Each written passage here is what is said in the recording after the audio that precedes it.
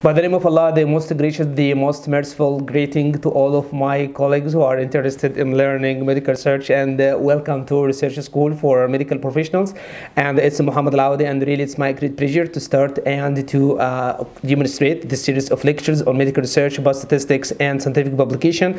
And this course is going to be in series. Uh, it's the first lecture I'm going to uh, just to give you the outline of the course and moreover I'm going to teach you the major disciplines that you have to know to start and to conduct your medical research co correctly. Uh, before starting I'd like to share with you a short story of mine that tells my initial experience in research. In, I think in 2008 my professor Dr. Yasser Osman asked me to collect the hospital experience in certain kind of tumor which is urothelial tumor, upper tract urothelial tumor.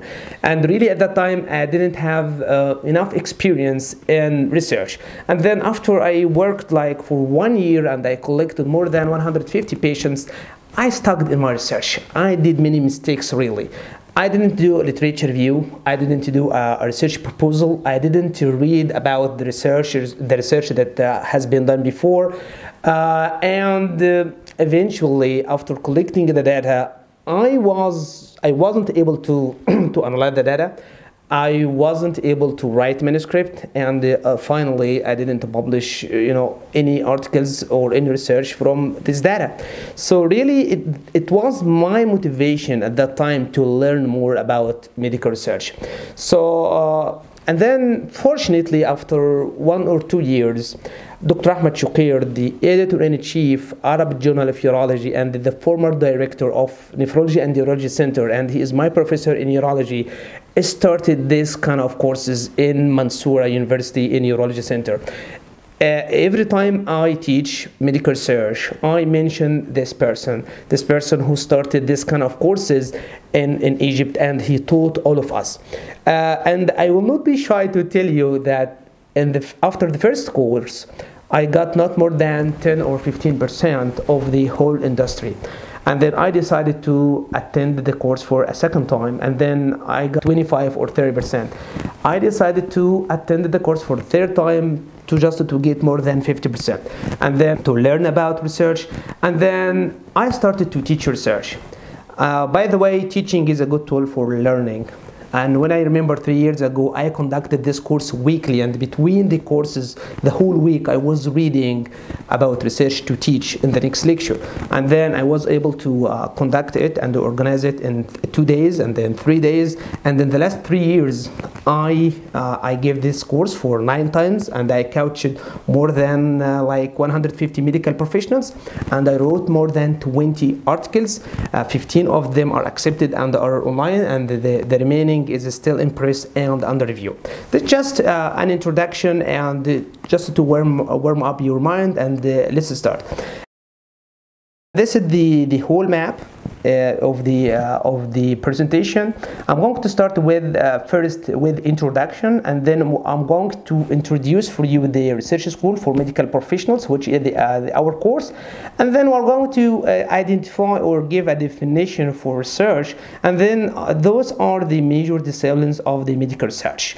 Medical research itself and basic biostatistics and the SPSS, which is the statistical program, and finally the scientific publication, and then this is the question that uh, has been asked or I have been asked uh, many times for the colleagues, how do we start research? Let's start. Okay, so uh, there is too much concern uh, nowadays about evidence-based medicine, as you know, and uh, it's not really uh, one approach. You have to know about evidence-based medicine. It's not one approach. It's interdisciplinary approach. You see here the interdisciplinary approach, the from research, from clinical expertise, and uh, you know uh, also with respect to the patient values and circumstances. So here, for example, if something that can be applied in, uh, in the United States or in Europe sometimes cannot be applied in another country, in Arab countries, for example, in view of uh, different culture, different religion, different thought, you know. So you have to respect the patient religion, education, uh, the community, the cultural issues, all of those should also put in consideration. And uh, so uh, a question for you, what is the aim of evidence-based medicine? It aims to guide the clinical practice correct. So we have to rationalize the clinical uh, the decisions now.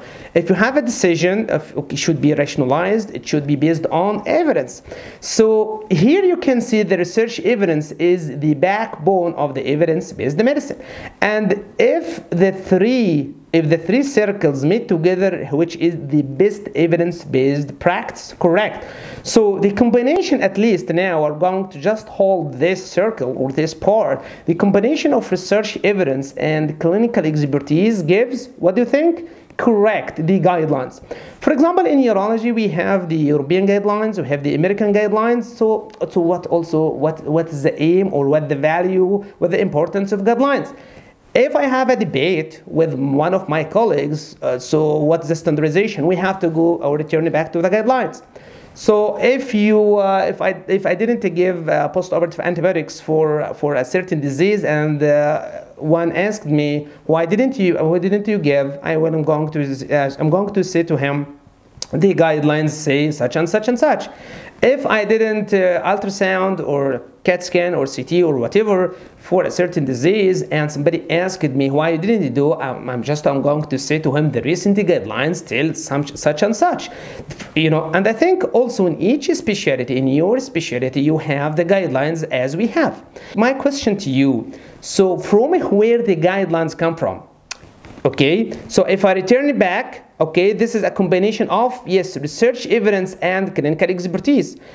But the really the guidelines you know uh, come from the highest quality of the, the research.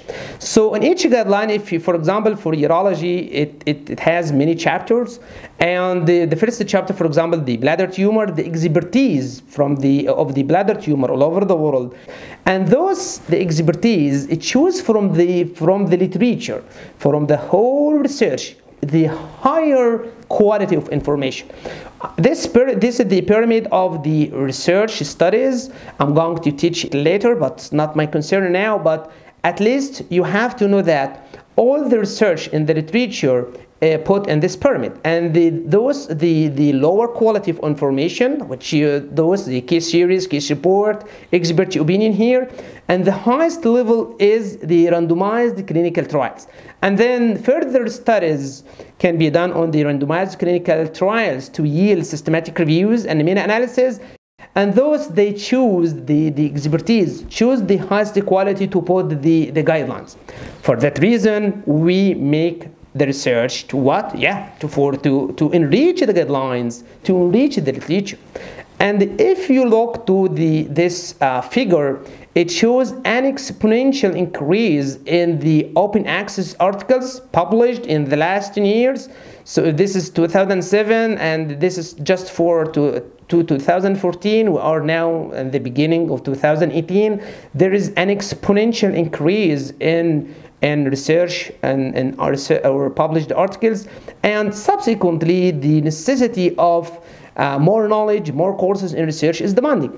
Although it, is, it could be a little attractive to say to the people start research to enrich the guidelines to, to enrich the literature but I found it's more attractive, at least in the beginning of research, to say do research to blaster your CV, which is really true. Which uh, you know, it, it, was me in the beginning. You know, I started the research to plaster my CV in the beginning. This is my my resume or CV in 2013. This is my resume now. It's different. If you apply for a residency, uh, if you apply for a fellowship, if you apply for further training, if you apply for uh, for promotion, for academic career, you have to have publication. You have to know about research. This is really little, little bit attractive in the beginning, but after a while, I feel like now I want to make a research for the literature, not for mine. Okay, so the question to you, do you do or uh, do we do research as we hope? Or in another way, what are the limitations for research? If that is, uh, you just use this pyramid, put this pyramid in your mind and put you, yes, on the top. Researcher.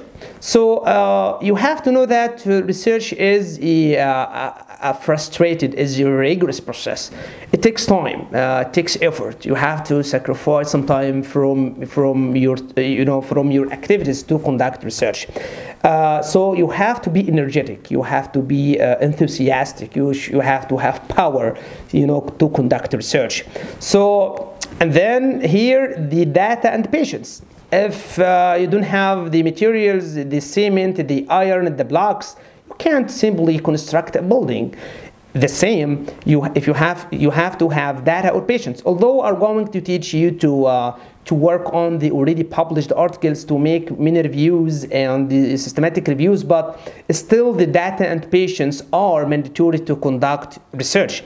And then finally, you have to, uh, to have um, cooperation from the organization and the institution. Uh, probably you may ask for approval of your research or probably a fund uh, from a teamwork, a biostatistician. So you have to work in a team and the, your organization also has to be cooperative uh, with you. So here it is my concern in the in the core, in the core of this pyramid, their research knowledge. Yes, research knowledge. It was my problem in the beginning to to know about research. Uh, I went to the uh, the library and the, the list book at the time for uh, for research. It was like at least 300 uh, or 400 pages, and the same also for the uh, biostatistics. So, although they are good uh, resources, but it seems that those resources have been written by you know expertise in research. Uh, we are, you know, we are interested in research, but we are not expertise in research. You know, I am a clinician like you. Uh, I don't have, I have a full-time job. I have uh, clinics. I have uh, duties, and I have on calls. We are stuffed in, in our clinical work. So, our aim just, you know, to publish three or four articles per year okay? So we need more hands-on. We need the least you know least amount practical knowledge to conduct research. Uh, in view of presence of all or the large amount of research with less practical courses i have you know thought about you know yes the research course to for medical professionals uh, i have decided to uh, teach medical research. What's new in our course? So our course uh, we're going to deliver the least amount of knowledge with the maximum benefits. Really true, because it is a simple clinician to clinician guide, simply. Okay, so and then our uh, this course is integrated. So in, in, in, in, my in my teaching, I found many people who have a perfect knowledge in medical research, and then they don't have enough knowledge in biostatistics and, uh, and publication. I found another people who have a good knowledge only on biostatistics. I found some people who have knowledge on medical research about statistics and then they can't publish. So this course is integrated and those are the disciplines that you have to know to conduct or to start your medical research.